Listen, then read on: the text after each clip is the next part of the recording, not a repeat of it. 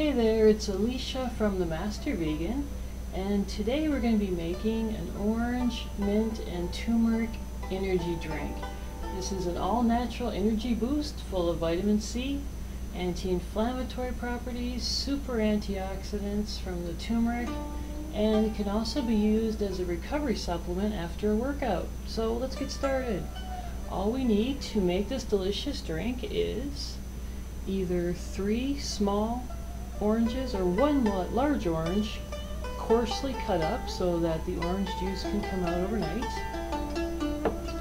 We also need some coarsely chopped mint for the same reason. We want the mint, the properties of the mint to soak into the water overnight.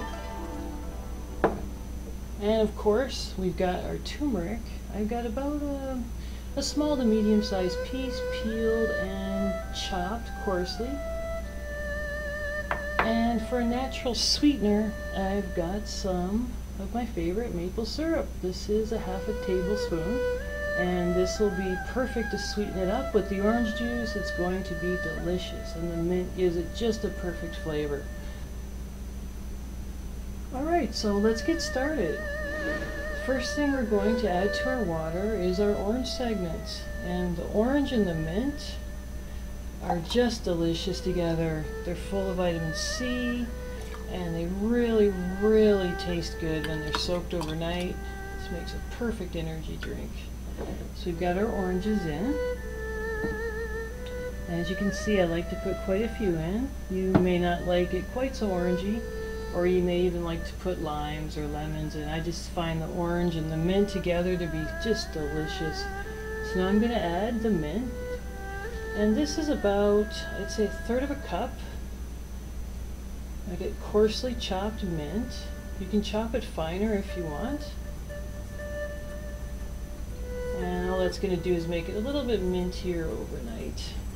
And then our star ingredient is going to be the turmeric. And as I mentioned before, turmeric is an excellent anti-inflammatory, an excellent antioxidant, and there's nothing better for a post-workout recovery than some turmeric. So if you're working out, go ahead and make this energy drink. Put in a medium piece of turmeric sliced up coarsely, and let that soak in overnight as well.